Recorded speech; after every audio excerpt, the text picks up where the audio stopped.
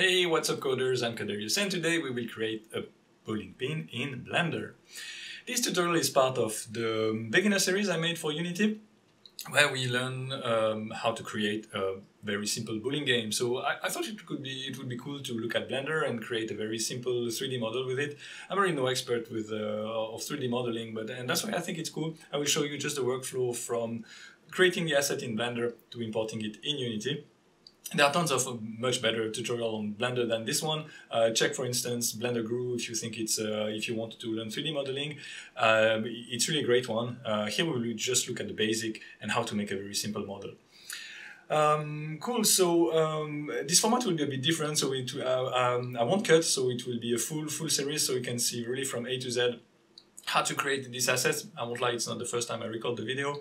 Um, so thank you for watching. Before we start, take a moment to like and subscribe, and I see you in Blender.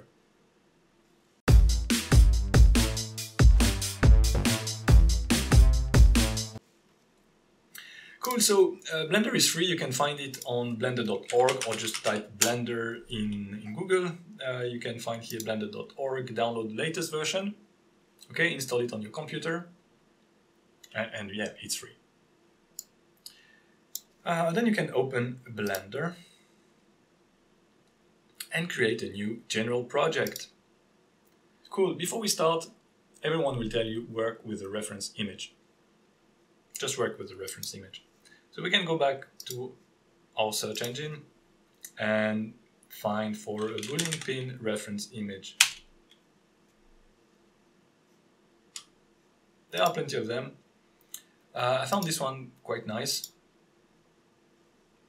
Uh, there are dimensions, it looks really okay, so save image as, save it to your project, and let's go back to Blender.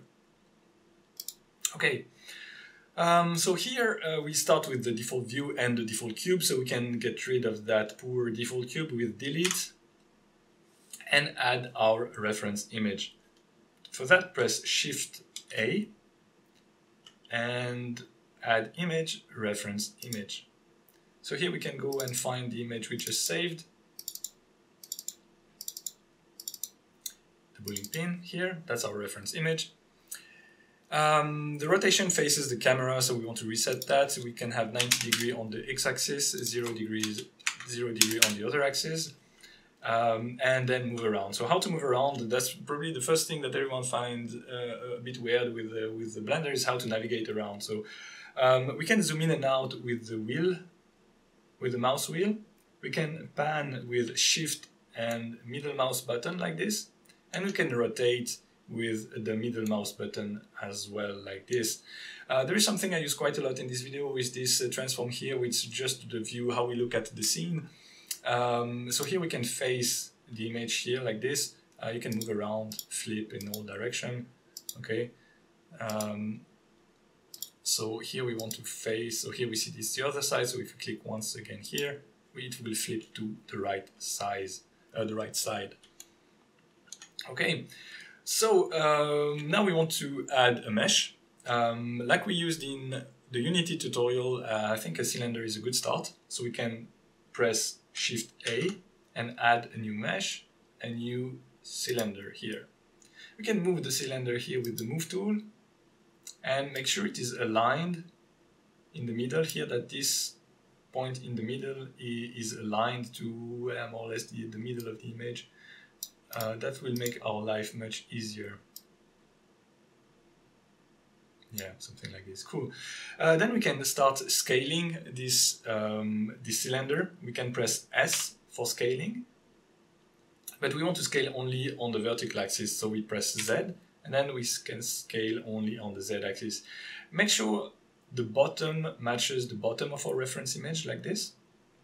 Yeah, almost there, like this. Don't worry for the top, we'll work on that a bit later on. Cool. One important thing is that we want to enable X-ray here that it is this, this button here, or this icon here. Click on it, and then we can see through the image. Uh, that's important, I will show you why in a second. So there are different modes in Blender. Here we are in the object mode. To start editing the geometry, the different shapes uh, and vertices, we need to move to the edit mode. We can do that by pressing tab or changing here the, the, uh, the mode. So make sure you are in edit mode. And we see if I um, uh, disable this X-ray mode, when we select our vertices like this, we select only half of them, the one that are facing the camera. But we want to select all of them to edit this shape. So enable the X-ray, we move back to our default position, and then when we select this, now all the vertices are selected, also the one that are behind the camera. Okay? All right. Um, now we want to start be, uh, creating the shape of this of this bowling pin. So for that, we can add edge loops. Uh, very simple. We can press Ctrl R, and we see there is one edge loop, we, uh, which comes in the middle. Can then start moving it. We could add a few like this, but uh, much simpler because we are lazy and there are shortcuts for everything. We can let's go back a few steps. Ctrl Z here. So again, Ctrl R we have one, but if we now use the mouse wheel, we can start having multiple edge loops. Okay, so yeah, we don't need that many because it's anyway a low poly model, but yeah, that's, yeah, maybe that's, that should be enough. Okay, then press the left mouse button and we can still move them or press escape to get back to the default position. And there we go. We have now some more vertices, more more uh, where we can create more geometry. Okay, so uh, here very simple. We want to to scale uh, actually to start creating the shape. So we select each level like this, and then we can press S to scale. You can zoom a bit, maybe. Yeah, let's zoom a bit like this. We press S, and then we can scale these to the right size. That looks about right. Okay, and we do the same for each level. Um, so here, if you don't like or if the, if the edge loop is not positioned well, you can press G and start moving it around. But we don't want to move this around like crazy like this. We just want to move this probably on the Z axis, up and down. Okay, so we can press Z. We see this vertical blue line coming in. And so we can move it somewhere else. And then again, S and scale. Easy, huh? Can we do this now for, for all levels? S, it's a bit redundant. It's a bit repetitive, but I think it's okay. And so you see here now why it's important also to, to work with the reference image. Uh, it's just easy. We don't have to think too much. We just we just go scale this according to, to our to our model. Up like this. Up, we do a few more. So here it's important to have um, this edge loop on the line because we will create then the material and have this red-white banding we see on uh, bowling pin, okay? So maybe what, what we can do here is G, we move this down a little bit. Here, then scale. And then we take this one, same, we move it down with G, then Z to move it really right on, on the line, and then scale it. Okay, we can here we can also add a new new edge loop with Control R. Yeah, here looks okay, and then we scale again. Then we scale this one. This one we move down with G, Z, and we align on the line S. Okay. Here we move the, we scale this with S and this one as well. Yeah, here we can probably add uh, uh, one more in the middle. So Control R here and scale it a little bit to have this nice geometry. It's really up to you. As I said, it's a low poly model from the, the back of the bowling lane. We won't see much detail of this, so it's really up to you how much detail you want to, to give to this to this different uh, uh, this this model. All right.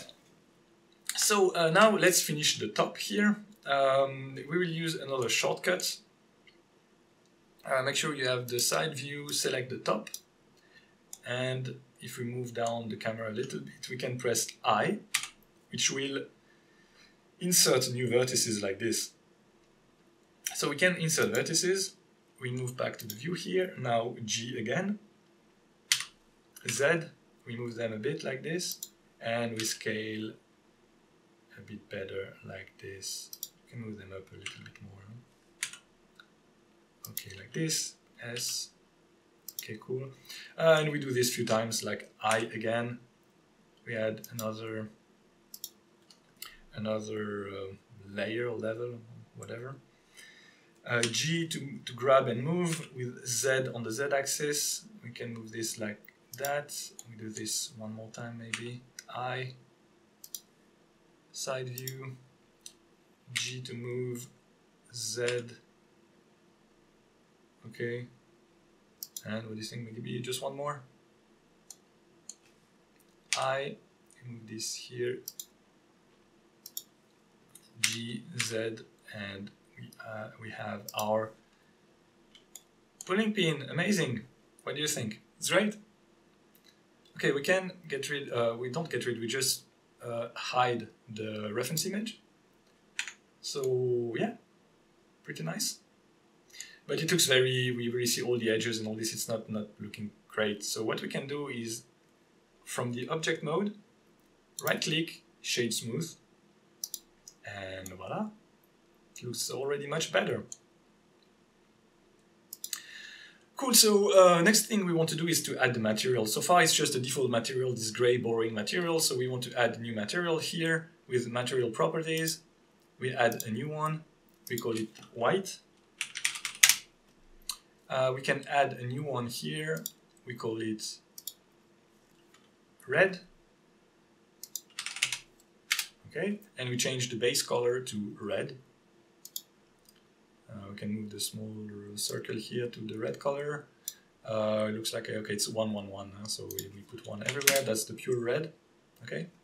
And then uh, we can go back to uh, the edit mode, and one thing we want to change, we want to change the selection. So here we can select one vertex or more vertices, we can also select edges, like this, one edge, or an edge loop again, or we can select faces. So we can move around this another shortcut, it's one, two, and three. So here we really want to make sure we, we select faces. Okay, let's activate our reference image again. Um, and so here we have this bending, this here, we can select these faces, shift, select the second band here, and assign the red material.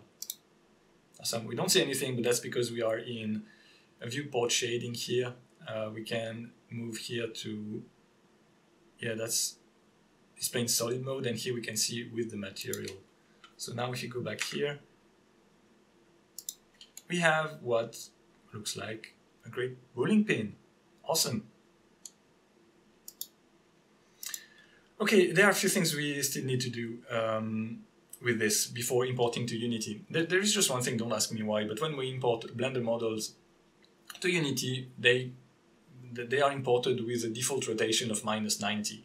So what we have to do is to correct that in Blender so the rotation in Unity is correct. So we can go here in the object properties and on the rotation X we enter minus 90. Okay, so our pin is now on the side like this. Uh, make sure you are, you are in object mode, select your, your pin, then Control A and we apply all transforms. So everything will reset, uh, reset kind of, with a scale of 1 everywhere, rotation of uh, 0, etc. Okay, cool, so we are almost there. You will see there are a few more things we need to change. So if we take that pin, we save it in our project. Uh, that's my tutorial original asset in the prefabs, so we can save this directly in the prefabs. We created the folder in the, the Unity tutorial video, so we save, can give it a name like pin, Okay, and now we can go to our project. And we can go to our Unity project and we have our pin here. So we can drag and drop into the scene, but there is some weirdness again. So we see a few things. So first it comes with light and camera and all this, so we can get rid of, of the light. Ah, sorry. We first have to unpack the prefab so we can start editing it. So we can remove then the light, the camera and the reference image. We can drag this out of the, the parent and delete, okay. Well, uh, so that's what I was saying. You see the rotation here is minus 90. So now if we put 0, the pin is standing correctly. Okay, uh, but the size is not right. So it's a giant pin. It's not what we want. Okay, um, so let's delete this and go back to Blender. In Blender, we can open the small arrow here and we see a few things about the transform. We see the dimension. Our pin is actually 3, 3 meters dot 24. So we want our pin to be 38 centimeters. You recall from the, we have this from the reference image of 15 inches. So we want it to be 38 centimeters. So we, we could change this here to be 0 38 but then we have a way weird shape. It's not not uh, um, changing the dimension on the x and the z axis. So it's the y-axis before because we rotated our pin 90 degrees. So uh, that's maybe a bit confusing. I hope it's not. But so okay, let's cancel that. We just need to make very small mathematical operation here. We know that our uh, we, that, that, our uh, pin is 38 centimeters high. So we want to divide 3.24 by 0 38. Actually, we can do that in Blender already. If we divide by 0 0.38,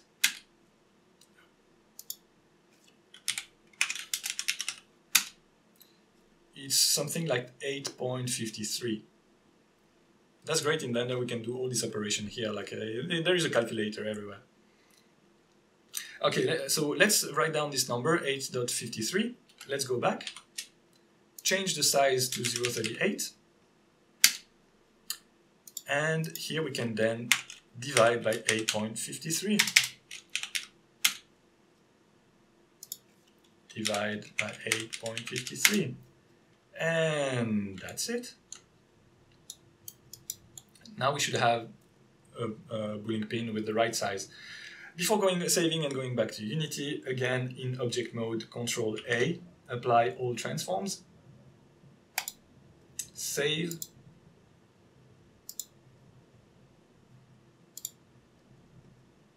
And if we go back to Unity we have our pin here that we can import. We still have still need to unpack remove the light the reference image of the camera drag this out here. And voila! And we have our bowling pin and it looks like it's the same size as the others that were really 38 centimeters. Amazing. Cool, so um, now we can add the other components. So we, ha we had uh, a rigid body and a mesh collider, so we can add again the rigid body. with a mass of 1.5 and collision detection to continuous. And we can add a mesh collider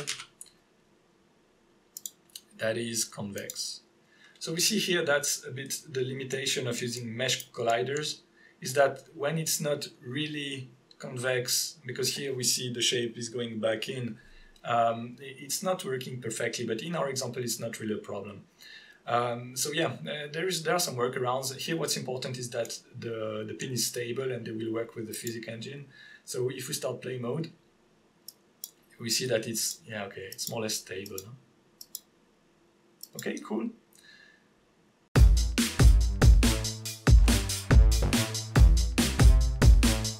Alright, that's the end of this video. I hope you liked it. Um, don't forget to like and subscribe and go back to the Unity tutorial. Thanks for watching, keep coding and see you next time.